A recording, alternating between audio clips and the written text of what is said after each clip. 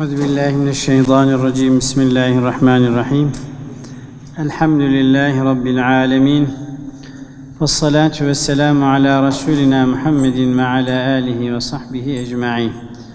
ألف ألف صلاة وألف ألف سلام عليك يا رسول الله. ألف ألف صلاة وألف ألف سلام عليك يا حبيب الله. ألف ألف صلاة وألف ألف سلام عليك يا سيد الأولين والآخرين. Kıymetli hafız efendiler, geleceğin alimleri. Geçen hafta dersimizde ehemmiyetine binaen namazdaki tadili erkandan bahsetmiştik. Namazdaki tadili erkan herkesin muhtaç olduğu, herkesin yapmak mecburiyetinde ve dikkat etmek mecburiyetinde olduğu bir vazifedir. Zira namazsız Müslüman olamaz. Namazsız Müslüman olamaz. Her Müslümanda namaz olduğuna göre, her Müslümana namaz farz olduğuna göre efendim namazda tadil erken meselesi herkesi ilgilendirir. Bugünkü dersimizde de siz kardeşlerimiz de yine her birinizi ilgilendiren bir başka konuyu müzakere etmeye karar verdim.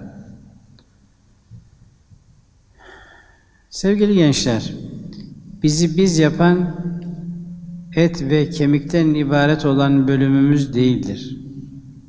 Bizi biz yapan imanımızdır, ahlakımızdır, değerlerimizdir. İnsanoğlu değerleriyle değerlidir. Değerleri olmayan insanın değeri olmaz. Değerleri olmayan insanın değeri olmaz. Affedersiniz, bir hayvanın değerleri yoktur. Kedinin ne değeri değerleri olacak ki? İneğin ne değerleri olacak ki? Veya bir başka hayvanın ne değerleri olacak ki? Değerleri ol olmayanın değeri yoktur. İnsanoğlu değerleriyle değerlidir. İnsan için, insanoğlu için anası değerli mi? Babası değerli mi? Kardeşi değerli mi? Kız kardeşi değerli mi? Dedesi nenesi değerli mi? Değerli. Dini değerli mi? Değerli. Kitabı değerli mi? Değerli.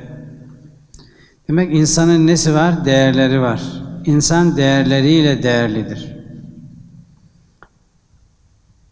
Kıymetli gençler, hafız efendiler, bizim en önemli değerlerimizden birisi, bize değer kazandıran değerlerimizden birisi anne ve babamızdır. Anne ve baba bizim için gerçekten önemli bir değerdir. Kur'an-ı Kerim'i doğru okumak lazım ve doğru anlamak lazım. Hani Cenab-ı Hak Celle ve Ala Hazretleri ne buyuruyor? Kitabun enzelnahu ileyke mübarekun liyeddebberu ayatihi ve liyetezekkere ulul elbab. Öyle bir kitaptır ki mübarekün bereketle doludur. liyeddebberu ayatihi ayetlerini çokça düşünsünler diye. Yani burada Kur'an ayetlerini çokça düşünmeyi zaten Rabbimiz bize hedef olarak gösteriyor. Şimdi Kur'an-ı Kerim'e baktığımız zaman bir yerde değil, birçok yerde anne ve babaya karşı iyi davranılması gerektiğini çok açık ve net bir şekilde emreder. Şu evrende ve kainatta her birimizin varlığımızın sebebi Allah'a kulluktur. Doğru mu? Peki Allah'a kulluktan sonra, Halika olan bu görevimizden sonra mahluk içerisinde en önemli görev kime karşıdır? Anne ve babaya karşıdır. Ne diyor Cenab-ı Hak Celle ve Ala Hazretleri İsra suresinde? Estaizu billah ve qada rabbuke alla ta'budu illa iyyahu ve bil valideyni ihsana. Rabbin kesin karar vermiştir. Ondan başkasına asla ibadet edemezsiniz. Bu Allah'ın kesin kararıdır. İkinci kesin kararı nedir? Ve bil valideyni ihsana. Anne ve babaya iyi davranacaksınız, iyi muamele yapacaksınız. Bu Cenab-ı Hakk'ın nesidir arkadaşlar? Kesin kararıdır. Her insan bir anneden ve bir babadan dünyaya gelir. Dünyaya gelen her insanın nesi vardır? Bir annesi var, bir babası var. Babası olmadan dünyaya gelen İsa Aleyhisselam'dır. Annesi ve babası olmadan dünyaya gelen, yaratılan Adem Aleyhisselam'dır. Hava annemizdir. Bunun dışında herkesin mutlaka nesi vardır? Bir annesi, bir babası vardır. Allah'a yapılan ibadetten sonra insanın mahluka karşı en önemli görevi anne ve babasına iyi davranmasıdır. Bugün biz annelerimizin, babalarımızın karşısında bir evlat konumundayız. Ama unutmayalım ki yarın Allah nasip ederse çocuklarımızın karşısında biz baba durumunda olmuş olacağız. Yani babalık, evlatlık, annelik, evlatlık izafi şeylerdendir. Babamıza göre evladız, evladımıza göre babayız. Şimdi özellikle bu konuyu sizinle müzakere etmek istedim. Bu konuyu sizinle arz-ı amik bir ders saati içerisinde istenebildiği kadar sizinle paylaşmak istedim. Neden? Çünkü günümüzde elektronik cihazların çoğalması, bilgi kirliliğinin ve örf, adet, gelenek değerlerinin tamamen tarumar olduğu, batı kültürünün hakim olduğu ve asli değerlerimizden uzaklaştığımız felakete doğru gittiğimiz bir ortamdayız. Dolayısıyla kaybedilen değerler içerisinde birisi de anne ve babanın gönlümüzde, hayatımızdaki yeridir. Allah Celle Celaluhu'nun Kur'an-ı Kerim'inde beyan buyurduğu gerçekler zamanın akışıyla değişir mi arkadaşlar? Değişir mi? Yani Allah'ın farzları değişir mi? Allah'ın haramları değişir mi? Allah'ın dini değişir mi? Kitabı değişir mi? Değişmez. O diyor ki: "Ve bil valideyni ihsana." Annenize ve babanıza iyi davranmanız bana yapacağınız kulluktan sonra en önemli görevinizdir diyor. Doğru mu arkadaşlar? Ayrıca Kur'an-ı Kerim'de anne ve babaya karşı iyi davranmanın gerekçesi annemiz olması ve babamız olmasıdır. Anneye neden iyi davranıyoruz? Annemizdir. Babaya niye, niçin iyi, iyi davranmamız gerekiyor? Çünkü o da bizim babamızdır.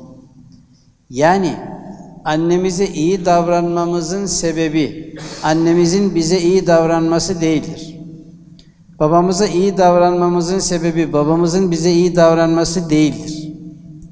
Annemize ve babamıza iyi davranmamızın sebebi annemizin babamızın Müslüman olması değildir. Bu söylediklerimin tersini söyleyeceğim şimdi. Bir insanın annesi ve babası kafir olsa, dinsiz, imansız olsa, sonuçta annesi midir? Sonuçta babası mıdır? Peki onlara karşı din ve iman konusu Allah ile arasındaki bir konu olunca, Allah'a karşı sorumluluk olunca, efendim din ve iman konusunda anasını babasını dinlemeyecek. Yani annesi babası ona kafir ol, ol dese, isyana sevk etse, annesi babasını dinlemeyecek. Ancak bunun dışında babalık ve evlatlıkla alakalı bütün konularda annesini dinleyecek. Sen kafirsin ben seni dinlemem. Sen dinsiz imansızsın ben seni dinlemem deme hakkına sahip midir? Evlat değildir. Anneye babaya ve mahlukun hiçbirisine Allah'a isyan olan yerde itaat edilmez. Yani kim bize derse desin içki iç, içmeyiz, kumar oyna, oynamayız. Efendim şu günahı işte Allah'a isyan olan yerde kimse dinlenmez. Bunu anne de söylese, baba da söylese ne diyeceğiz? Ben Allah'ıma isyan edemem diyeceğiz. Orada biz Allah'a isyan edemeyiz. Çünkü la ta'ate li mahlukin fi masiyetil halik. Allah'a isyan olan yerde mahluka itaat edilmez. Anne de olsa, baba da olsa. Ancak bir insanın annesi, babası sarhoş olsa, kötü yollara düşmüş olsa, haramlara daldırsa, hatta kafir olsa, babalık değişmez ki, annelik de değişmez. Bunların istepnesi yok. Anne ben sana darıldım, sen değilsin benim annem, ben annemi değiştirdim deme hakkımız var mı? Şansımız var mı? Yok. Babamıza bunu söyleme şansımız var mı? Babamızı değiştirebilir miyiz? Değiştiremeyiz. Biz doğarken, dünyaya gelirken annemiz belli, babamız belli. Bunlar değiştirilmezler, değişemezler. Dolayısıyla arkadaşlar bir insanın annesi babası kafir de olsa annelik ve babalık konusunda din konusunda değil, anaya ve babaya gösterilmesi gereken ilgi konusunda aynı şekilde Müslüman bir anneye, Müslüman bir babaya gösterilmesi gereken saygı kafir olana da gösterilecektir. Bu Kur'an-ı Kerim'in emridir. Ve in cahadake ala en tüşrike bi ma leysa leke bihi ilmun fela tuti'huma ve sahibhuma fid dünya ma'rufa. Eğer annen baban sana müşrik ol derlerse onları o konuda dinlemeyeceksin ama ve sahibhuma fid dünya ma'rufa. Diğer konularda, dünyevi konularda maruf bir şekilde yani baba evlat ilişkisinde sana yakışan neyse bunu yapacaksın diyor. Şimdi biz burasını geçiyoruz. Çünkü her birimizin babası nedir? Elhamdülillah mümin ve muvahhiddir, Müslüman insanlardır. Bunu niçin söyledim? Bir insanın anasına, babasına iyi davranmasının gerekçesi neydi arkadaşlar? Söyleyin. Müslüman olmaları mı? Bize iyi davranmaları mı? Değil. Bizim annemiz olması, bizim babamız olması bizim onlara karşı iyi davranmamızı gerektiren ana sebeptir. Eğer bize iyi davranırlarsa febiha ve nimet. Eğer Müslüman olurlarsa febiha ve nimet. Dolayısıyla kıymetli gençler Kur'an'ı ve İslam'ı doğru anlamak lazım. Haddimizi, hakkımızı çok doğru bilmemiz lazım. Yeni yetişen nesilde toplumda yayılan alışkanlıklarda, kötü alışkanlıklarda annenin babanın değeri düşmektedir anneye babaya yeni nesil değer vermemektedir. Bir insan annesine hangi konularda tanışmalıdır? Babasıyla hangi konularda müzakere etmelidir? Bağımsız karar vermek acaba erdemlik midir? Yani babam ne derse desin ben bildiğimi yaparım demek Müslümanlıkta var mıdır? Kur'an'da ve sünnette var mıdır? Anam bana bu yaştan sonra, babam bana bu yaştan sonra karışamaz deme hakkına sahip miyiz? Arkadaşlar, benim yaşım 60'tır. Sizin yaşınız bana göre çok gençtir. Benim babam hayatta değil. Allah ona rahmet eylesin. Her birimizin bütün ölülerimize rahmet eylesin. Annem hayattadır. Annem 90 yaşındadır. Şimdi ben 60 yaşında olarak anneme, anne sen ne anlarsın bu işe, bu işlerden karışma, sen bana karışamasın deme hakkına sahip miyim? Değilim. 60 yaşında ben bunu anneme söyleyemem. Babam hayatta olsa babama söyleyemem. Çünkü o benim annemdir, öbürü benim babamdır. Babalık evlatlık ilişkisinde, annelik evlatlık ilişkisinde buna dikkat etmek gerekiyor. Allah'ın emridir. Efendim dinimizin değişmez kurallarıdır bunlar. Sevgili gençler, bakınız biraz sonra hadis-i şeriflerle süsleyeceğim konumuzu. Efendim, özetle ben size girişte şunları anlatmak istiyorum, paylaşmak istiyorum. Bir defa kafamıza şunu kazıyacağız. İslam hukuku, Kur'an anayasası, Muhammed Mustafa sallallahu aleyhi ve sellemin ortaya koyduğu prensipler baba evlat ilişkisinde, anne evlat ilişkisinde temel espri evlat olmak, baba olmak, evlat olmak, anne olmak esası üzerine yerleştirilmiştir.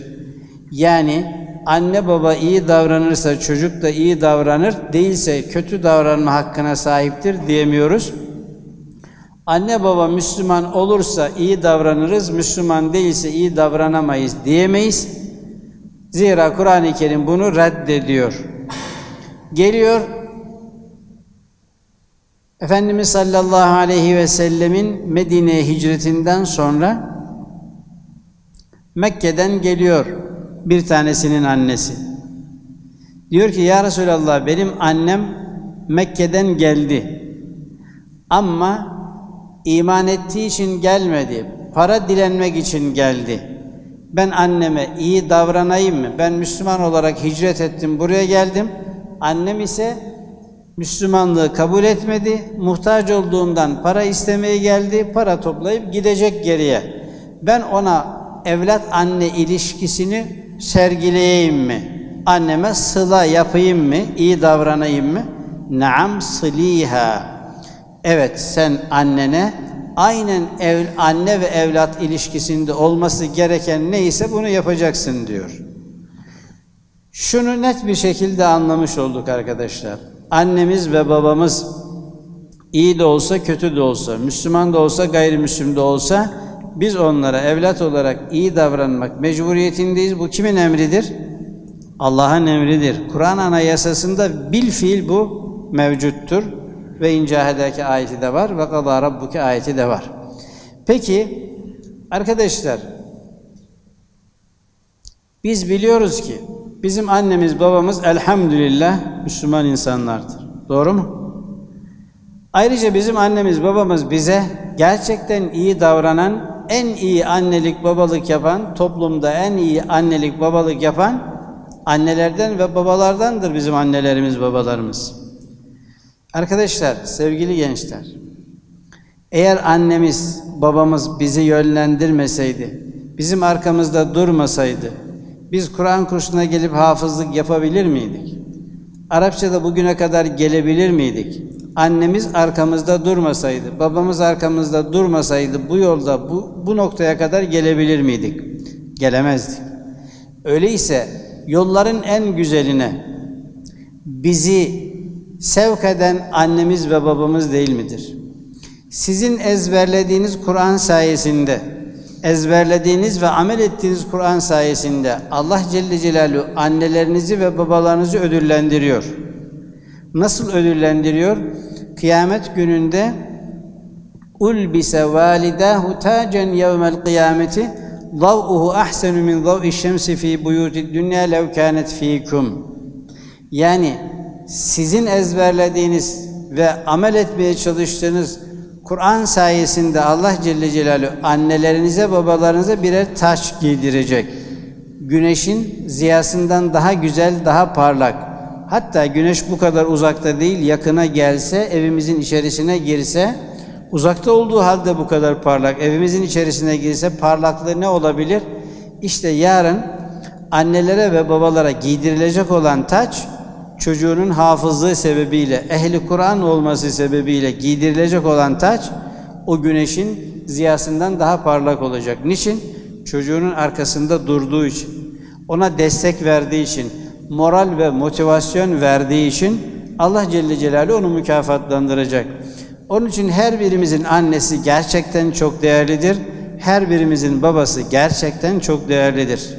Kul kusursuz, Mevla afsız olmaz.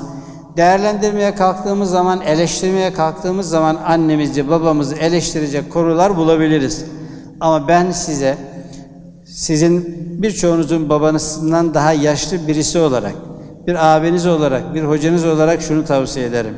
Hiçbir zaman ömrünüz boyunca annenizin savcısı olmayın, babanızın da savcısı olmayın. Hiçbir zaman annenizin savcısı, babanızın savcısı olmayın. Yani annenizi suçla yargılayan, hata ile yargılayan, babasını hata ile yargılayan bir insan konumuna asla düşmeyin. Annenizin savcısı olduğunuz zaman bittiğiniz zamandır. Babanızın savcısı olduğunuz zaman ahlaken dejenerasyona uğradığınız zaman demektir. Onun için daima babanıza karşı, annenize karşı babalık evlatlık ilişkisinin gerektirdiklerini siz aşk ile şevkle yerine getireceksiniz. Şimdi ben size iki yönünü anlatmaya çalışacağım. Vaktim el verdikçe anne ve babaya iyi davranmanın fazilet yönü vardır, bize kazandırdıkları vardır. Bir de anne ve babaya iyi davranmayıp Arapçada ukukul valideyn diye ifade edilen anne ve babanın gönlünü kırmak, onların huzurunda hayırsız bir evlat damgasını yemek, ah bıktım bıktım söylemelerine sebep olacak bir atmosfer meydana getirmeye de ukukul valideyn deniyor. Bunun bize getirdiği zararlar nelerdir? Bu ikisinin özetle dersimizin içerisinde sizinle paylaşacağım. Ben size desem ki arkadaşlar, sahabi olmadığı halde, sahabe-i kiram Rıdvanullahi aleyhim derecesine en yakın Allah dostu kimdir ne dersiniz? Veysel Karani dersiniz. Öyle mi? Veysel Karani dersiniz. Veysel Karani Hazretleri ile ilgili değişik menkıbelerden bahsedilir. Arapçadaki ismi Üveys'tir. Doğru mu? Hadis kaynaklarında Üveys geçiyor mu? Üveys el-Karani geçiyor mu? Birinci sınıflar bunu görmüş olmayabilirler ama diğer sınıflar bunu görüyorlar, biliyorlar.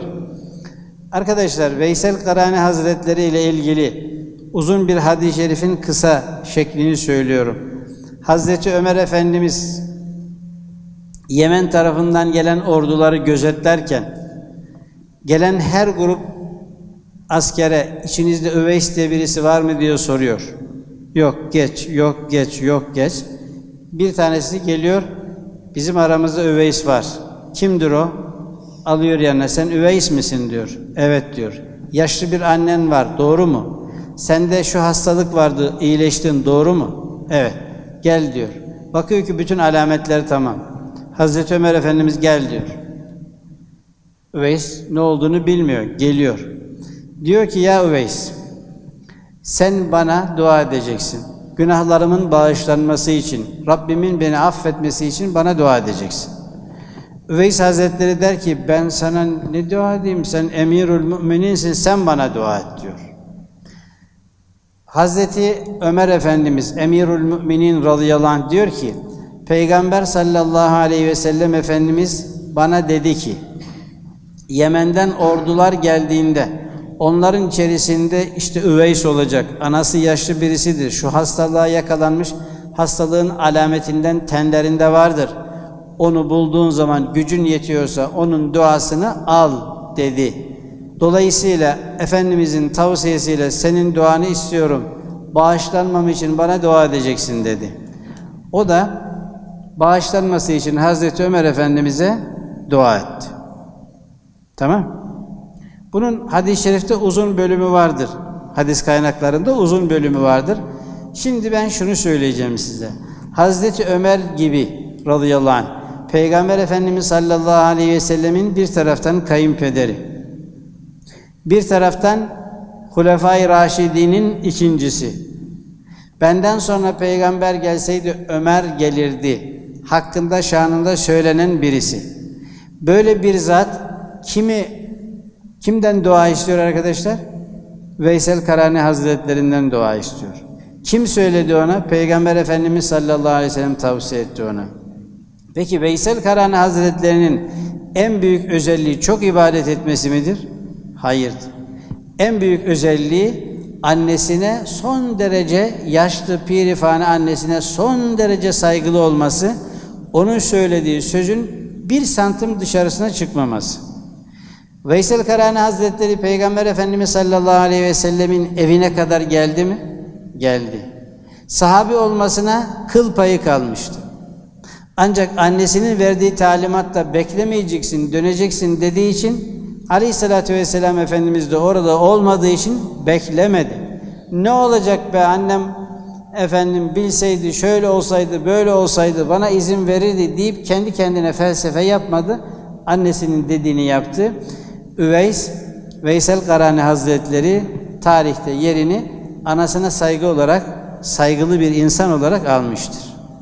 Şimdi sahabe-i kiram Rıdvanullahi alim ecmainden gerçekten Veysel Karani Hazretleri, Hazretleri kadar meşhur olmayan da var mıdır? Vardır.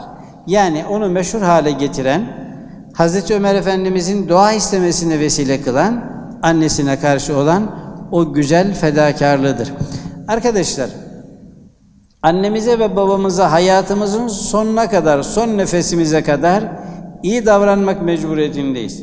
Başkan olsan, başbakan olsan, kaymakam olsan, vali olsan, alim olsan, müftü olsan, ne olursan ol, ana anadır, baba babadır. Biz başkasının karşısında hocayız, başkasının karşısında babayız, dedeyiz ama anamızın karşısında neyiz? Evladız. Babamızın karşısında neyiz? Evladız. Ona karşı, onla, anne ve babamıza karşı durumumuz değişmez. Vali de olsak değişmez, kaymakam da olsak değişmez.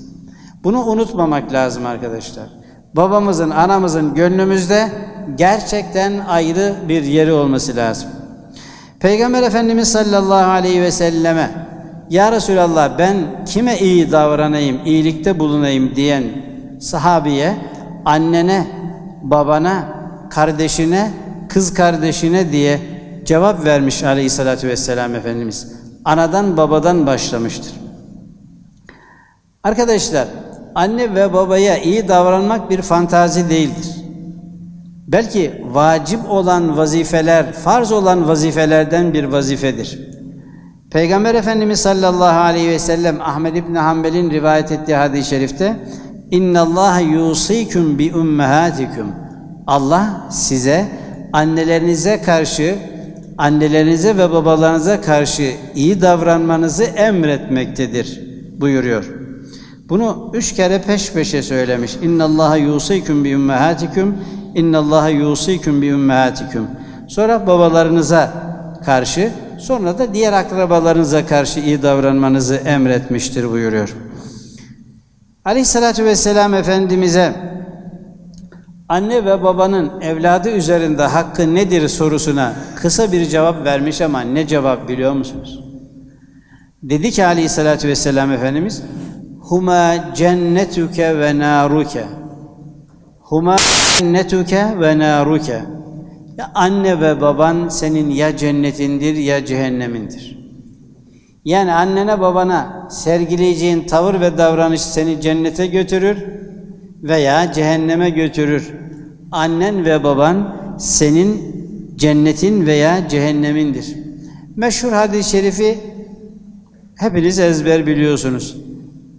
Anne ve baba Allahu Teala'nın rızası anne ve babanın rızasındadır. Allahu Teala'nın gazabı anne ve babanın gazabındadır. Arkadaşlar bu hadis-i şerif Tirmizi'nin rivayet etmiş olduğu bu hadis-i şerifte ne diyor Allah Allah Resulü sallallahu aleyhi ve sellem? Annen, annen ve baban senden razı ise Allah da senden razı demektir. Eğer annen baban senden yaka silkiyorsa, razı değilse Allah da senden razı değildir demektir. Demek ki Allah'ın rızası anne ve babanın rızasındadır normal şartlarda. Anne ve Allah'ın gazabı anne ve babanın gazabına bina edilmiştir. Öyleyse biz neye dikkat edeceğiz? Annemizin, babamızın gönlüne girip onların mutlaka bu benim hayırlı evladımdır neticesine, kararına, kanaatine varmamız lazımdır. Kıymetli arkadaşlar, anne ve babaya iyi davranmakla alakalı Peygamber Efendimiz sallallahu aleyhi ve sellem El validu evsetu ebvabil cenne Anne ve baba cennetin en geniş kapısıdır. Cennetin en geniş kapısıdır. Fe in şi'te fehafiz alel bab ev utruk hâdâ. Eğer dilersen cennetin o geniş kapısını muhafaza et, yarın o kapıdan cennete girersin, istersen o kapıyı kendine kapat. Yani annenin, babanın eğer gönlünü alırsan o cennetin kapısı senin için açık olur. Cennetin kapısından içeri girersin. Arkadaşlar cennette muhtelif kapılar var biliyorsunuz. Yani Rayyan kapısı kimle alakalıydı? Oruç tutanlarla alakalı değil mi? Yani oruç konusunda mahir olanlar Rayyan kapısından girecek. Namaz konusunda mahir olanlar ayrı bir kapıdan girecek. Anne ve babaya itaat konusunda mahir olanlar da cennetin en geniş kapısından içeri girmiş olacaklar. Arkadaşlar, Riyazu Salihin de okuyanlar okumuşlardır zaten. Okuy diğerleri de okuyacaklardır inşallah. Geçmiş ümmetlerde yolda giderken bir mağaraya iltica eden üç kişiden bahsedilir. Mağaranın kapısı kapanıyor. Büyük bir kaya yuvarlanıyor, geliyor, mağaranın ağzını kapatıyor. Bunlar buradan çıkma şansına sahip değillerdir. İşlerinden en zeki ve akıllısı diyor ki arkadaşlar bizim buradan çıkma şansımız yoktur.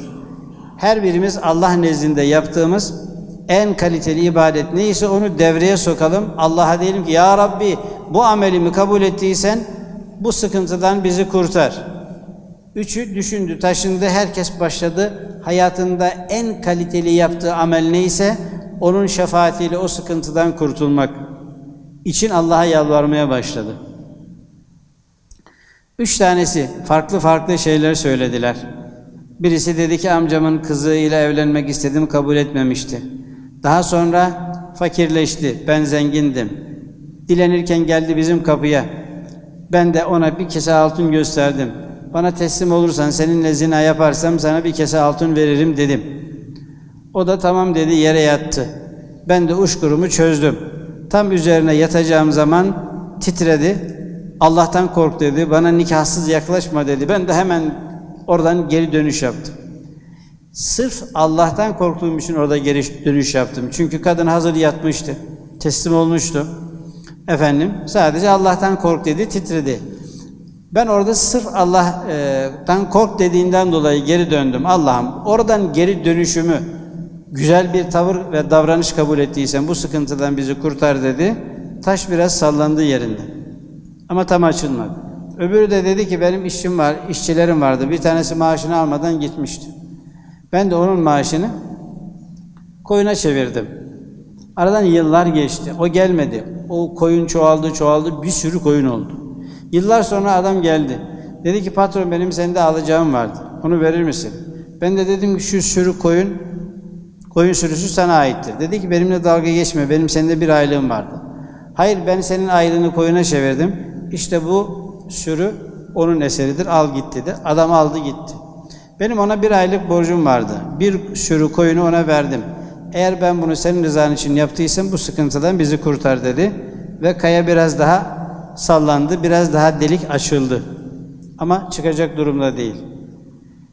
Üçüncüsü dedi ki Allah'ım benim bir annem ve babam vardı. Onlar yaşlı idiler, hizmete muhtaç idiler. Ben de davarları güderdim. Akşam geldiğimde davarları sağınca önce anneme babama sonra çocuklarıma süt verirdim. Bir akşam geç gelmiştim. Annem babam uyumuştu. Ben her zamanki usulümü bozmak istemedim. Sütü sağdım. Çocuklarım ağlıyor, acıkmışlar. Hayır. Anneme babama vermeden size vermem. Annem, annem var, babam var. Önce onlar sonra siz dedim. Annemi babamı uyandırma zahmetinde de bulunmadım. Onların uykusunu bölmeyeyim dedim. Aldım elime sütü kapılarında bekledim, bekledim, bekledim. Onlar sabaha karşı uyandılar. Verdim sütlerini içtiler. Ondan sonra çocuklarıma süt verdim. Allah'ım anama babama gösterdiğim bu saygı ve ilgi nezd-i ilahiyende kabule şayan olduysa içinde bulunduğumuz sıkıntıdan bizi kurtar deyince taş yuvarlandı gitti. Onlar da yollarına devam ettiler. Bakınız arkadaşlar burada bu insanın ortaya koyduğu performansı hangimiz aklına getirir de bu kadar ince e, bir anneye babaya karşı saygıda bir inceliği yakalayabilir. Diyor ki yani onların sütü ayrı zaten. Yani annesine babasına vereceği süt ayrı, çocuklarına vereceği süt ayrı. Ama bir edep var, bir haya var, bir saygı var. Önce anneme babama, sonra çocuklarıma. Bu ilkeyi sürdürmüş, sürdürmüş, sürdürmüş. İşte bir günde bir sıkıntı meydana gelmiş. Annesi kendisi geç kalınca, annesi babası erken uyuyunca ya erken çocuklarına verecek annesi babası kalkınca onlara süt vermiş olacak veya aynı hassasiyeti göstermiş olacak. Bu adam aynı hassasiyeti gösterdi. Elinde sütle annesinin babasının kapısında bekledi. Ne oldu peki arkadaşlar? Allah'ın bu tavır ve davranışım nezd-i ilahiyende kabule şayan ise içinde bulunduğumuz sıkıntıdan bizi kurtar deyince taş yuvarlandı gitti. Bundan ne anlıyoruz arkadaşlar? Annemize babamıza göstereceğimiz bu saygı, ince saygı ve hürmet hayatımızda karşılaşacağımız sıkıntılardan kurtuluşun sebeplerinden birisidir sevgili gençler. Şimdi adamın bir tanesi geliyor. Peygamber Efendimiz sallallahu aleyhi ve selleme ben de cihada katılacağım diyor. Soruyor ona Efendimiz sallallahu aleyhi ve sellem annen baban var mı? Sana ihtiyaçları var mı? Var. Ve bana da ihtiyaçları var. O zaman senin cihadın onlara güzel hizmet etmektir. Sen git annenin babanın gönlünü al, onlara hizmet et demiştir. Demek oluyor ki cihada çıkacak olan bir insan cihat gibi çok önemli bir vazife varken bile eğer annesi ve babasının ona ihtiyacı varsa, onun hizmetine ihtiyacı varsa önce annesinin babasının hizmetini yapmalı. Sonra sıra gelirse cihada gitmelidir. Cihat gibi önemli bir vazifede bile annenin babanın hakkı önde geliyorsa burası gerçekten bizim dikkatimizi çekmelidir. Arkadaşlar Peygamber Efendimiz sallallahu aleyhi ve sellem anne ve babaya saygıda bize gerçekten hadisi şerifleriyle işin ciddiyetini çok net bir şekilde öğretmiştir. Değişik merhalelerde değişik merhalelerde, değişik meclislerde Aleyhisselatü Vesselam Efendimizin bu konudaki tavsiyeleri dikkate alındığı zaman başlı başına belki bir tez mesele, tez konusu olabilir bu. Yani anne ve babaya iyi davranmak, bu konuda yazılmış müstakil eserler, müstakil kitaplar da vardır. Ben bir saatin içerisinde her iki bölümünden de bahsetmek istiyorum. Yani annemizin babamızın gönlünü alacak tavır ve davranışlar, onlara değer vermek, fikirlerine, görüşlerine değer vermek bizim gerçekten vazgeçemeyeceğimiz ve görmezlikten gelemeyeceğimiz en önemli vazifelerimizdendir. Günümüzde kaybettiğimiz değerlerdendir. Arkadaşlar evlat sevgisi farklı bir sevgidir. Ancak evlat sevgisiyle anne ve baba sevgisi, saygısı karşı karşıya geldiği zaman kim kimi tercih etmesi lazım? Anne babaya saygı. Çünkü Allah Celle Celaluhu ve bil valideyni ihsana diyor. Aleyhissalatü Vesselam Efendimizin bu konudaki tavsiyeleri de vardır ama ben geçiyorum hemen. Şimdi arkadaşlar şeye baktığımız zaman e, İsra suresindeki ayete baktığımız zaman işin ciddiyetini gerçekten ayette sadece İsra suresindeki ayetten anlayabiliriz. Ben bir başka örnek de vereceğim size. Şimdi bir kardeşimiz gerçekten bir makam ve mevki sahibi bir abimiz, kardeşimiz. Babası hayatta değil. Annesi hayatta idi. Hastaydı, rahatsızdı. Fakat bazen gerçekten evlatlar çok hayırsız oluyorlar. Anne hasta olunca, yatalakta olunca hizmetini yap yapmak için kız evladı gidip ilgilenmiyor. Bir başka kız evladı gidip ilgilenmiyor. Erkek evladı ilgileniyor. Makam ve mevki sahibi olan erkek evladı anasının hizmetini yaparken bazen affedersin altını temizleme ihtiyacıyla karşı karşıya kalıyor. Ve bunu da yapıyor. Darda kaldığı zamanlarda hizmetçi tutmaya çalışıyor ama gerçekten başka kimse olmayınca annesinin altını temizliyor yatalak hasta. Şimdi bu kardeşimiz bana geliyor ve ben de kendisine bu İsra suresindeki ayeti kerimeleri okuyorum. İsra suresindeki ayet-i kerimelerde ve bil valideyni ihsanadan sonra ne diyor Allah Celle Celaluhu? İmma yeblughanne indekel kibera ahaduhuma ev kilahuma fela tekul lehuma uf. Annen ve baban senin yanında ihtiyarlarlarsa sakın üf demedi. Üf diyemez. Dediğin zaman bir haram işlemiş olur. Peki üf demedin. Somurt, somurtup duracak mısın? Ve kul lehuma kavlen kelime. Tatlı söz söyleyeceksin. Babacığım, anneciğim, Nasılsın? Ne emredersin? Ne yapabilirim? فَقُلْ لَهُمَا قَوْلًا kerima. Yetti mi? Bu da yetmedi. وَخْفِضْ لَهُمَا جَنَاحَ الذُّلِّ Tevazu kanatlarını gereceksin annene babana. Miner rahmeti, merhamet kanatlarını gereceksin. وَقُلْ رَبِّ رَحَمْهُمَا Yani tabiri caizse ayaklarının altını yalayacaksın. Ve kur Rabbi rahamhuma kema Rabbi yani sagira. Bir taraftan da diyeceksin Allah'ım anneme babama acı rahmetinle merhametinle muamele eyle. Onlar ben küçükken bana gerçekten merhametli davranıyorlardı. Ben küçükken bana onlar merhametli davrandığı gibi, acıdığı gibi sen anneme babama rahmetinle, merhametinle muamele eyle Allah'ım diye bana yalvaracaksınız diyor Allah. Sonra Rabbukum a'lemu bima fi nufusikum. Kullarım bunları yaptığınız zaman kalbinizden geçen duyguları da biliyor. İn tekunu salihin fe innehu kana lil evvabin gafura. Eğer gerçekten niyetiniz halis olursa ufak tefek kaymalarınızı ben idare ederim, affederim diyor Allah Celle Celaluhu.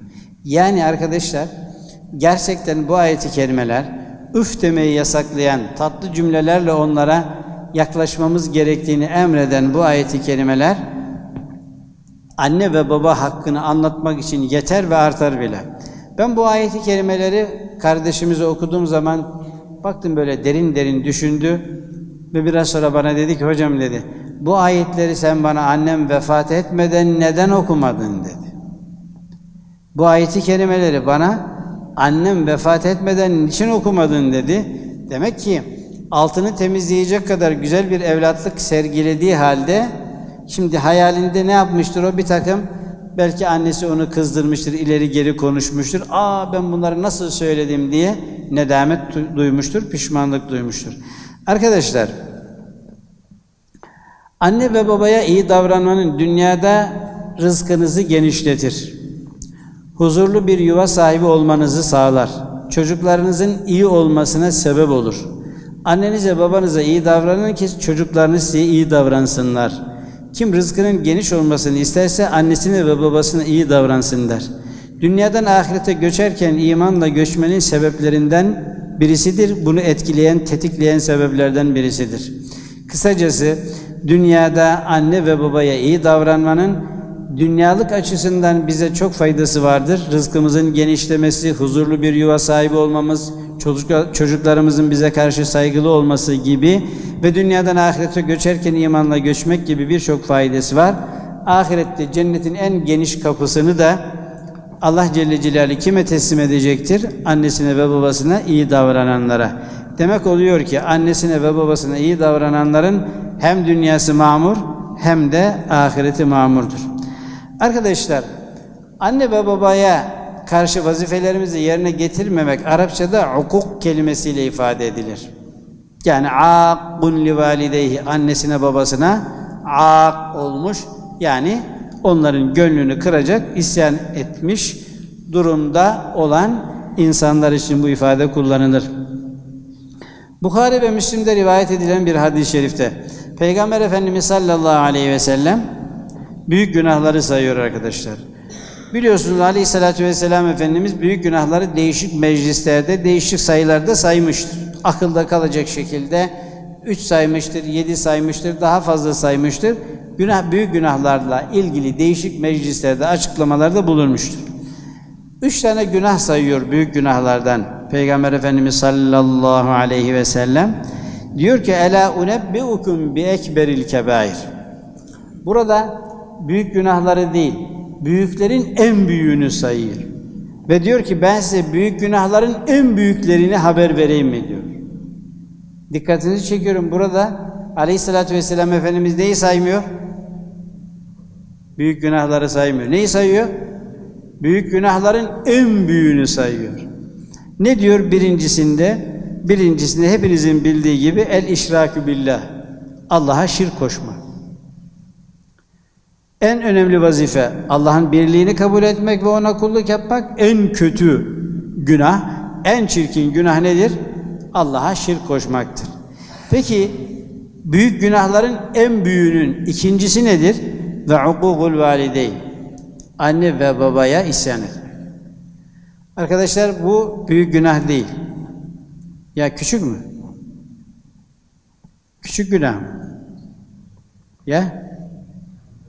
Büyük günah değil dedik o zaman küçük günah mı olduğu anlaşılıyor. Büyüklerin en büyüğündendir. Büyük günahların en büyüğündendir. Allah'a şirk koşmak ikincisi hukukul valideyn. Üçüncüsü nedir arkadaşlar? Yalan söylemek ve yalan yere şahitlik yapmak. Yalan söylemek ve yalan yere şahitlik yapmak bu en büyük büyük günahların en büyüklerindendir. Arkadaşlar hadisi şerifte Peygamber Efendimiz sallallahu aleyhi ve sellem Felâfetun lâ yenzurullah ile ileyhim yevmel kıyamet. Üç grup insan vardır ki yarın ahirette Allah onlara adam yerine koyarak rahmet nazarıyla bakmaz. Siz merhamete layık değilsiniz der, onlara rahmet nazarıyla bakmaz. Kaç grup insan? Üç grup insan var. Birincisi, el-âkku li valideyhi, annesine babasına isyan eden. İkincisi, vel mer'atul muteracciletu, erkeklere benzemeye çalışan kadınlar. Erkeklere benzemeye çalışan kadınlar. Üçüncüsü de ve deyyus, deyyus. Ve thelâfetun lâ yedhulûnel cenne. Yine üç grup insan vardır ki bunlar cennete giremezler. El-âkku li annesine babasına isyan eden, vel mudminu lil hamri, içki içmeye devam eden, vel mennanu bima a'ta, yaptığı iyilikleri durmadan başa kalkan insanlar cennete giremezler buyurulmuştur. Arkadaşlar, anne ve babaya isyan etmenin bedeli gerçekten çok fazladır, ağırdır. Altından kalkmak mümkün değildir. Bukhari'nin rivayet etmiş olduğu hadis-i şerifte El kebairu el işrak billahi ve hukukul valideyni ve katlün nefsi vel yeminul gamus. Yani büyük günahlar sayılırken Allah'a şirk koşmak, anne ve babaya isyan etmek ve adam öldürmek deniyor. Adam öldürmek nereden sonra sayılıyor? Anne ve babaya isyandan sonra sayılıyor. Öyleyse bu mesele iyice gözden geçirilmeli. Şu hadis-i şerife bir gözden e, geçirelim arkadaşlar. Tabarani bunu rivayet ediyor. Halece aleyna Resulullah sallallahu aleyhi ve sellem ve nahnu muctemi'un. Biz toplu bir aradaydık. Peygamber Efendimiz sallallahu aleyhi ve sellem yanımıza geldi ve dedi ki ey Müslümanlar topluluğu Allah'tan korkun. Sıla-i rahim yapın. Zira sevabı, mükafatı sıla-i rahimden daha hızlı gelen bir şey yoktur. Sıla-i rahimin başında anne ve baba gelir. Kardeşler, kız kardeşler, diğer yakınlar da peşinden gelir. Yani mükafatı en hızlı bir şekilde dünyadayken insana gelen iyiliklerin başında sıla-i rahim gelir. Anne ve babaya iyi davranmak ve akrabaya iyi davranmak gelir. Devam ediyor hadis-i şerifte e, zulümden sakının. Zira yapılan zulüm ve haksızlığın cezası günahlar içerisinde en hızlı cezası gelenlerin başında gelir. Bir adam zulüm yapıyorsa yani ahirette göreceği cezadan daha önce dünyada da başına bir bela gelir. Ve devamında diyor ki, buraya dikkat edin arkadaşlar, anne ve babaya isyandan sakının, zira cennetin kokusu fe inne rihal cenneti tucedu min mesireti elfi amin. Cennetin kokusu bin yıllık mesafetten alındığı halde vallahi la yeciduha akkun ve la qati'u rahmin ve la şeyhun zanin ve la carrun izarahu haylen ev Vallahi annesine babasına isyan eden bin senelik yoldan kokusu alınan cennetin kokusunu bile alamaz.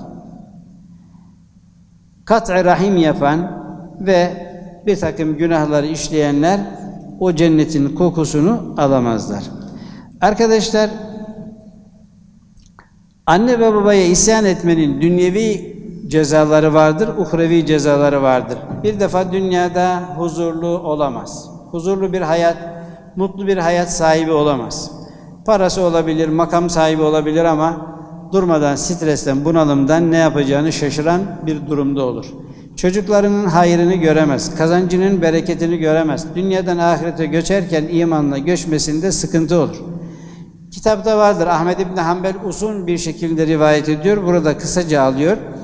Bir gün bir tanesi ölüm döşeğinde mücadele veriyor. Ölüm döşeğinde yatan insana normalde la ilahe illallah de denmez. Yanında la ilahe illallah seslice söylenir. Ama oradakiler ona la ilahe illallah de diyorlar. Adam bir türlü bu kelimeyi tevhidi getiremiyor. Efendimiz'e haber veriyorlar sallallahu aleyhi ve sellem. Efendimiz bu insanın yanına gidiyor. Soruyor aleyhissalatü vesselam Efendimiz diyor ki ne yapardı bu? Namazında var mıydı sıkıntı? Yok diyorlar. İbadetinde sıkıntı yoktu diyorlar. Sadece yaşlı bir annesi vardı. Annesine isyan ediyordu. Annesinin duasını almamıştı. O zaman annesini bana çağırın diyor. Aleyhissalatü vesselam Efendimiz annesine diyor ki bak senin çocuğun ölüm döşeğinde. Sen ona hakkını helal etmediğin için sen ondan razı olmadığın için canını teslim edemiyor. Kelime-i tevhid getiremiyor. Sen ona hakkını helal et. Etmem dedi. O zaman dedi şöyle yapacağım dedi. Ben dedi şimdi buraya bir odunları toplasam, ateş yaksam, çocuğunu da ateşe atsam razı olur musun? Olmam dedi. Eğer dedi ona razı değilsen zaten burada ateşe doğru gidiyor. Hakkını helal et yoksa bu iş e, bunun gidişi ateştir, sıkıntıdır diyor. Kadıncağız dedi ki madem dedi ateş gibi tehlikeli bir durum var ben hakkımı helal ettim dedi. Çocuğuna hakkını helal et. O çocuğuma hakkını, hakkımı helal ettim dediği andan itibaren adama, o ölüm döşeğindeki adama La ilahe illallah yanında dediler. O da başladı La ilahe illallah Muhammedur Resulullah demeye ve biraz sonra canı çıktı. Canın ruhunu teslim etti. Ahmed İbni Hanbel'de bu uzun şekilde var. Kitapta kısa şekliyle beraber var. Yani arkadaşlar bir insan annesine babasına asi durumda olursa dünyadan ahirete göçerken imanında sıkıntı yaşayabilir mi? Ceza olarak sıkıntı yaşayabilir mi? Yaşayabilir. Ruhunu teslimde sıkıntı yaşayabilir mi? Yaşayabilir. Ahiretteki sıkıntıları da dayanılmaz sıkıntılardır. Vakit ilerledi arkadaşlar. Özetle ben şunu söyleyeyim. Arkadaşlar siz siz olun. Hayatınızın hiç bir bölümünde şer'i mubine, dini celili İslam'a muhalif bir emir ve talimat size vermedikleri sürece annenize babanıza karşı tavır ve davranışlarınızda mutlaka itaatkar bir evlat olma özelliğini koruyun. Hiçbir zaman asi evlat konumuna gelmeyin. Hayatınızda vereceğiniz kararlarda annenizin, babanızın iznini almadan, görüşünü almadan annenize rağmen, babanıza rağmen karar vermeyin. Sonra burnunuzdan fitil fitil bu gelir, dönüşü olmaz, pişmanlık fayda vermez. Annem anlamaz, babam anlamaz derseniz o zaman haşa Allah da mı anlamaz? Allah Celle Celaluhu annemize, babamıza karşı farklı bir ihsan içerisinde olmamızı özellikle emrediyor. Kendisine kulluktan sonra bunu özellikle emrediyor. Onun için annemiz bizim cennet kapımızdır. Babamız bizim cennet kapımızdır. Onların duasını alınca, onların gönlünü kazanınca biz cennetin en geniş kapısını kendimize açmış oluruz. Böyle bir konuyu sizinle müzakere etmeye ihtiyacım sadece sizden kaynaklanan bir durum değil. Toplumda, gençlerde, yeni yetişen nesilde anne ve babaya karşı tavır ve davranış e, biçimi Kur'an ve sünnete uymadığından, tam tersi bir istikamete doğru gittiğinden, bir felakete doğru gittiğinden, bu felaketten en azından siz en az zararla kurtulun veya zararsız kurtulun diye böyle bir ders sizinle yapma ihtiyacı duydum. Unutmayın ki bugün evlat konumunda olan sizler yarın baba konumunda olacaksınız. Ben gittiğim camilerde anne ve babaya karşı evladın saygısı, hürmetinden bahsettiğimde en çok kim mutlu olur bilir misiniz? Orada olan anneler ve babalar. Bilhassa çocuklarının hayrını görmeyen anneler babalar o vaazdan çok daha fazla etkilenirler. Ah bizim evlat da burada olsaydı, duysaydı falan diye çok etkilenirler. Ee, dolayısıyla bugün evlat konumunda olan sizler yarın baba durumunda olacaksınız. Birru abaekum teburrukum ebnaukum. Annenize babanıza iyi davranırsanız çocuklarınız da size iyi davranırlar. hadisi şerifinin sırrına böylece erişmiş oluruz. Her Müslüman insan annesine ve babasına bu dini kriterlere göre iyi davranması gerekirken eğer bizim gibi hafızı kelam, ehli Kur'an, alim insan ise bu çok daha önemli bir noktaya gelmiş olur. Bu bakımdan arkadaşlar Cenab-ı Hakk'a yalvaralım. Ya Rabbi annemi babamı affeyle. Benden razı ve memnun eyle. Bir insanın annesine babasına karşı hayattayken vazifeleri olduğu gibi öldükten sonra da vazifeleri var. Ölseler de hayatta olsalar da anamızı babamızı duamızdan eksik yapmayacağız. Evimize gittiğimiz zaman anamıza değer verdiğimizi, babamıza değer verdiğimizi, bizim hayatımızın onların ufkunun dışında olmadığını, onların efendim çerçevesi içerisinde ailece beraber hayatımızı sürdüreceğimizi yani inanç şey açısından diyorum. Baba ne derse ben saygı duyarım, annem ne derse saygı duyarım. Annemsiz bir hayat, babamsız bir hayatı benimsemiyorum. Buna sahip olduğumuzu, bu akideye sahip olduğumuzu bilmelidirler. Ben desem beni dinlemez. Ya yok ya ben ben ne söylersem söyleyeyim o bildiğini yapar. Anlayışı asla olmamalı. Eğer annemiz babamız bizim için böyle söylüyorsa biz annemize değer vermiyoruz, babamıza değer vermiyoruz anlamına gelir. Bu bakımdan arkadaşlar Rabbim beni de ıslah eylesin, sizi de ıslah eylesin. Salah ve takvada yarışanlardan eylesin. Annesinin babasının duasını alanlardan eylesin. Annelerimize karşı iyi evlat olmaya, çocuklarımıza karşı iyi baba olmaya her birimizi muvaffak eylesin. Allah yar ve yardımcımız olsun. Lillahi'l Fatiha.